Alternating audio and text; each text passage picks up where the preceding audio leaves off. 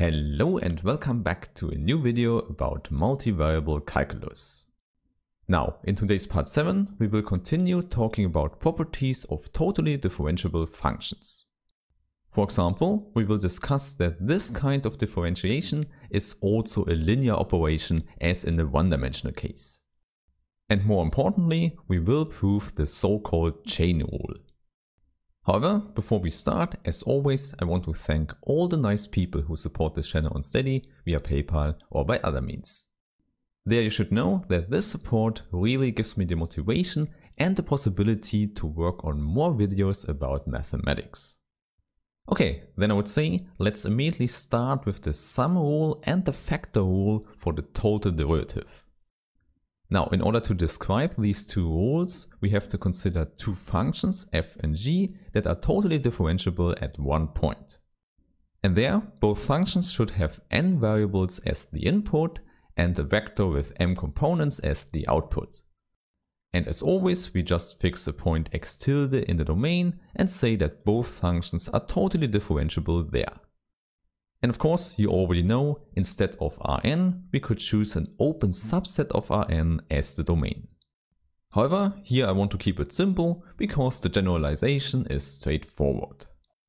Okay, so here you see, we have two functions and we can form without a problem the sum of both functions.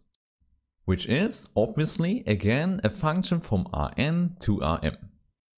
And there it might not surprise you that the result is that this new function is also totally differentiable at the given point x tilde. And moreover, we also know how the total derivative looks like. So you know it's denoted by d of f plus g at the given point x tilde. So here, please recall, this whole thing here denotes a whole linear map from Rn into Rm. And now the result here is that this linear map can be formed from two other linear maps. Namely, we need the total derivative of f at the point x tilde and the total derivative of g at x tilde. And the sum of both gives us the total derivative of f plus g. And of course, if you want, you can also formulate this with the Jacobian matrices. So you would say the Jacobian matrix of f plus g at the point x tilde is the sum of the Jacobian matrix of f with the Jacobian matrix of g. So in short, what you can remember here is for the differentiation, we can pull out the addition sign. And of course, you know this is one part of something we call linear. And the other part is simply that we also can pull out scalars. So in our case, this would be a scalar lambda from R. And as always, by having such a factor, we can define a new map lambda times f. So this is as before a well-defined map from Rn into Rm. And in the same way, we get the result that this new function is also totally differentiable at the given point x tilde. So the only question is, how does the derivative look like? And now this might not surprise you, this new linear map can be described by scaling the old linear map. In other words, you can pull out the scalar. And of course, in the same way as before, if you prefer it, you can write it with the Jacobian matrices. Okay, so in summary, you see the first one here is the sum rule and the second one is the factor rule you might already know from the one-dimensional case.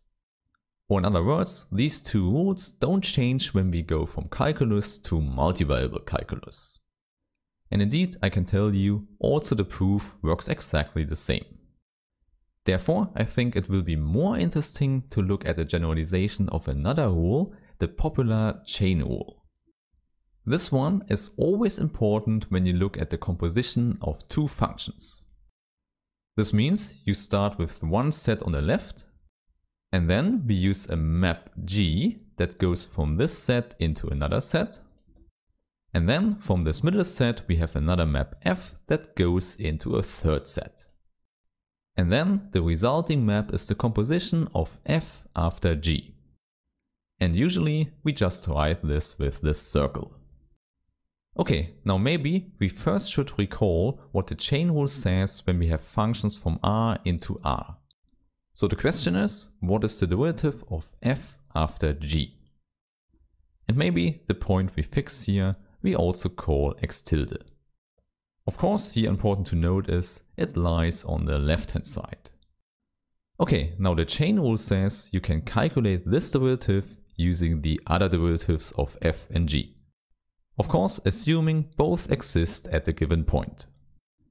Okay, now the chain rule says simply take the derivative of f at the point gx tilde and multiply it with the derivative of g at the point x tilde.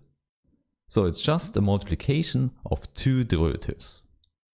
Okay, so this is the standard chain rule you should know from my real analysis course. However, now we will spice things up. This means the sets we consider here in the picture could lie in higher dimensional spaces. And indeed, the dimension could be different in every step. So simply put, we have Rk, Rn and Rm. So you see, now this is very general. We have a function g that starts with k variables, maps it into Rn, and then comes f with n variables and maps this into Rm. Okay, and now the assumption we need is that g is totally differentiable at the point x tilde and that f is totally differentiable at the point g of x tilde. So this simply means our total derivatives exist at the given points. And then the question is, can we say something about the total derivative of f after g? And of course, we can only say something for the given point x tilde. Okay, and now it might not surprise you that we have a combination of df and dg. Okay, but we already know it can't be a normal multiplication because here we consider abstract linear maps. However, you know, as before, we don't have a problem composing both maps. And indeed, this is what happens here. We have the derivatives at the given points and then we compose them. So what you should see is that this is indeed a generalization from this fact there. And of course, as before, we can also formulate these with Jacobian matrices. So the Jacobian matrix of f after g at the point x tilde is given by the Jacobian matrix of f at the point g of x tilde times as a matrix multiplication the Jacobian matrix of g at the point x tilde. So this is what you might know from linear algebra. The composition of two linear maps translates into the matrix multiplication. Therefore, also here you see the connection to the one-dimensional chain rule.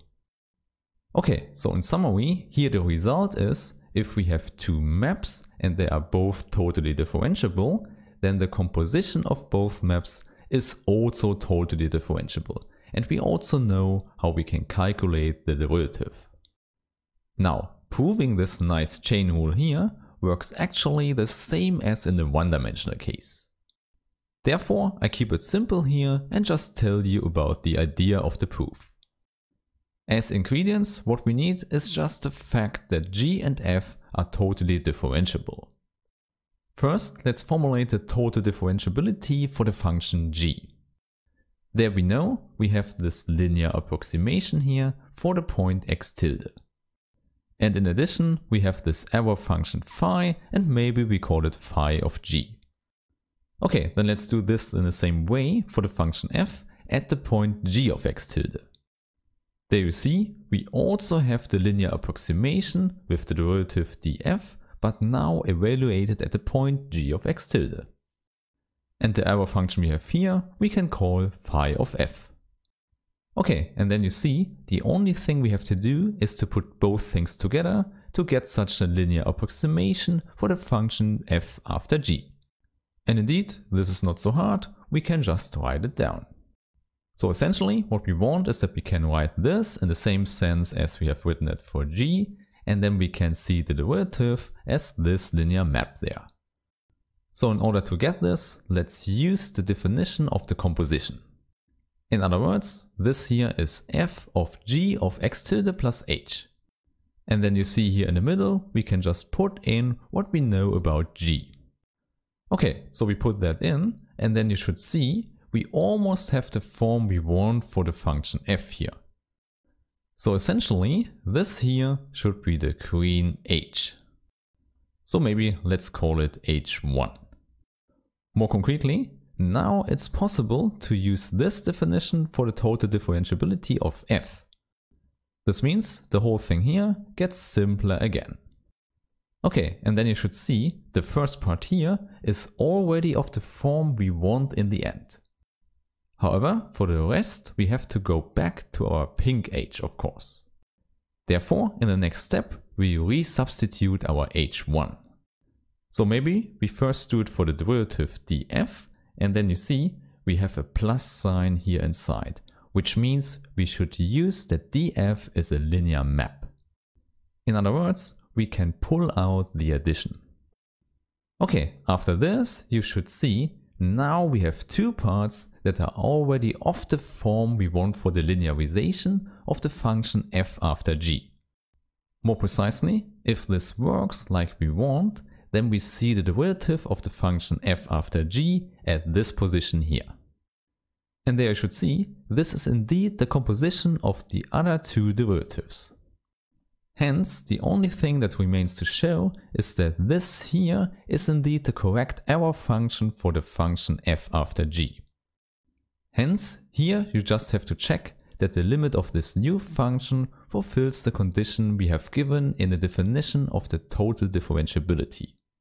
More concretely, the function goes to 0 when h goes to 0 even when we divide it by the Euclidean norm of h.